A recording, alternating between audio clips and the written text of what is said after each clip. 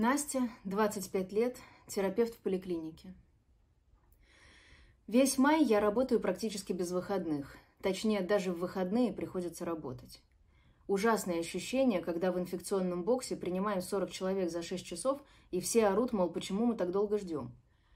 И вот после работы я иду домой и ощущаю дикую ответственность, что работая в таком месте с таким количеством человек каждый день, я могу сама быть переносчиком, заразной.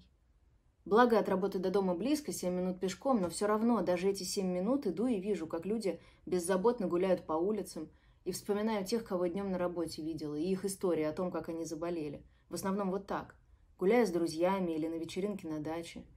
То есть всех, кого я на улице вижу, я знаю, что потом могу увидеть уже у нас.